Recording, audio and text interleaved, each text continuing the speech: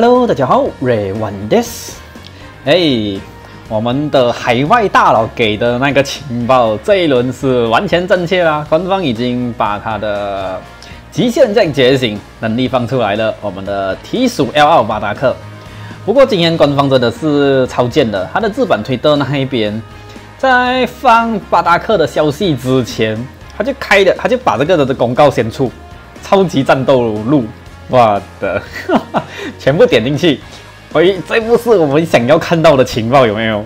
每次都这样子，先用这个来铺路，做我们以为哎有情报来了，快点点进去那个推特，结果哎看到的东西。完全就是不想看的，然后后来官方就正式的把我们提马达克的情报给放出来了，嘛，整体的能力提升的非常给力啊，哎，就直接过来这边看一下吧。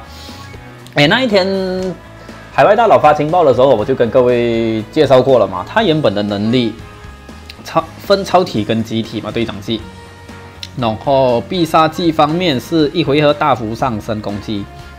然后这个是必杀技封印嘛，在超必杀上面。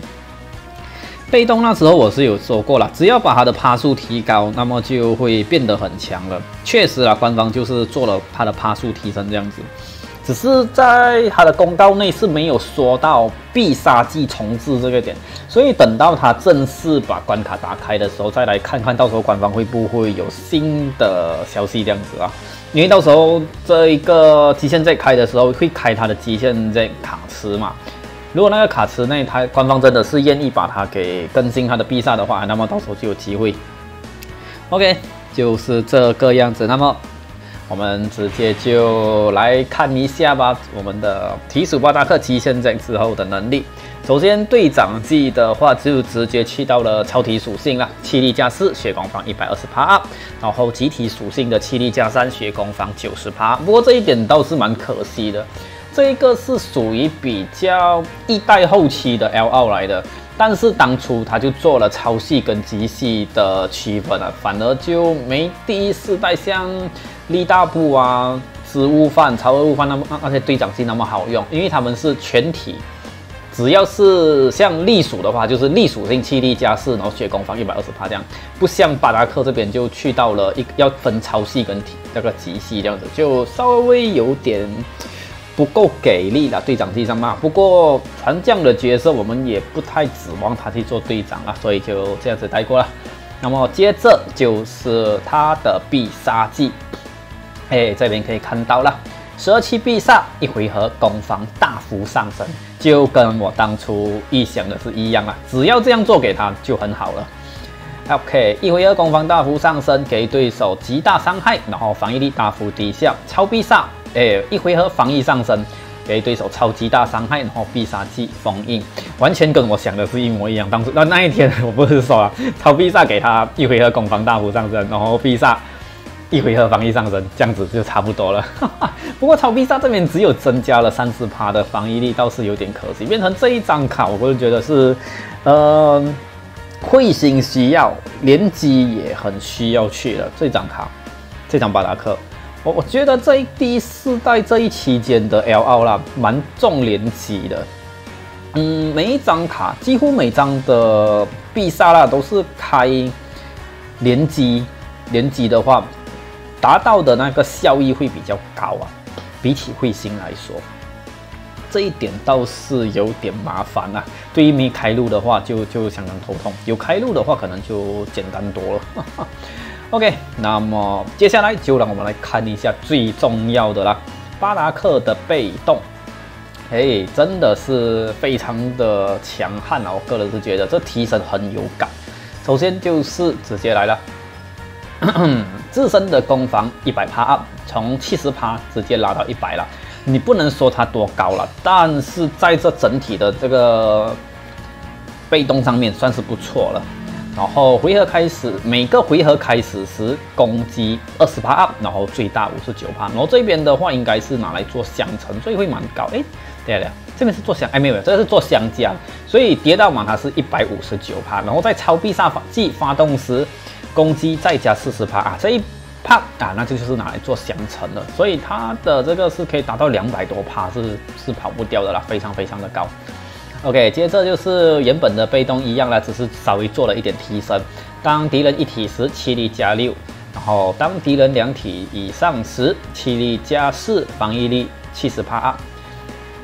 嗯，就是这个样子。接着就是特工角色了，对特工，哎，弗利扎，名称带有弗利扎的角色存在于敌方的，作为存作为敌人存在的时候了，呃，弗利扎兵除外了，那个。那个就很少会遇到了，不就不管他们了，必定会先发动，然后只有一次的机会，直接气力加十二，攻击一百帕啊！这个真的是相当相当的给力，有没有？专门就是用来打飞炸的。像素鼠的巴达克，隶属的巴达克机内，就是五周年五周年狗吉大卡池的那个一般丝绸卡。通通都是遇到弗利扎沙马啦，哦，就是必定会行了。三张，我记得好像知属有一张是吗？知属的巴达克，嗯，知属的巴达克有吗？我猜是没有什么印象啊。技属的话就肯定没有特工。那现在我目前已知的体属、隶属跟属属的巴达克都是有特工弗利扎，相当相当的愉悦，有没有？然后这边的话，我是稍微有做了一小计算啦，在彩星的情况下啦，初始我们的防御力是可以达到，那个十三万、十三、十四、十四万左右开场啦，十四万左右、十四万左右的开场，然后配上连接跟辅助，诶，十七八万是跑不掉了。然后必杀技开下去的话。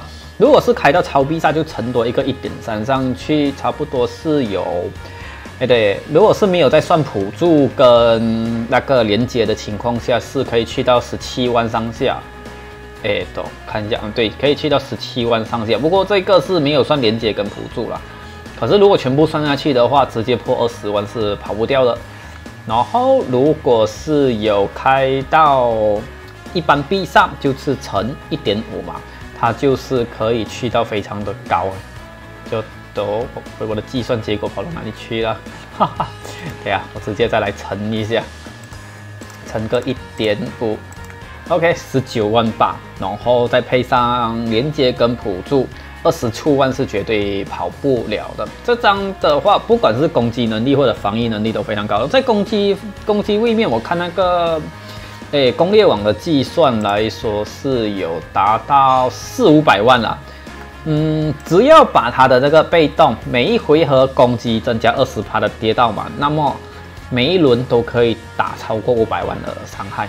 这个是彩星的状况，然后同样是满连接的状况。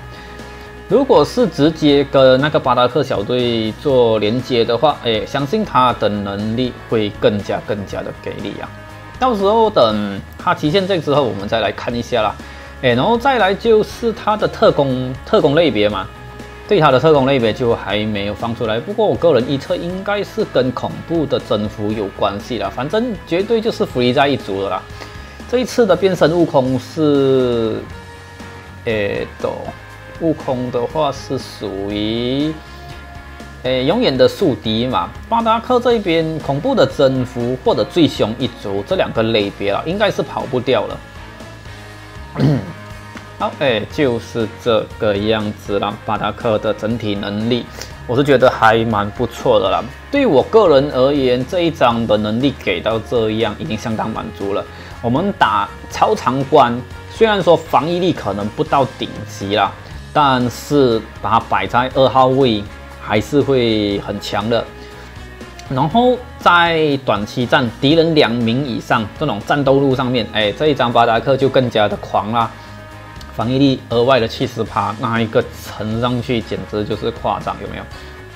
破个三十万都有是有机会的，非常非常的猛啊！不管是他的攻击防御，而且像战斗路，如果我们对上弗利扎的话，那个当敌人是弗利扎的话，他一开场。直接给你气力加十二，攻击额外加乘多一百，而且还是必定会行，想想都可怕。一开场直接轰爆弗利扎，有没有？当然了，那个当那个是敌人是弗利扎的情况才有，所以这个我们就不太去计算了，不太把它给纳入那个计算内。但是真的是很强啊，我个人是相当的喜欢，哈哈而且这张的卡面非常好看，大家不觉得吗？这个巴达克斯巴拉西。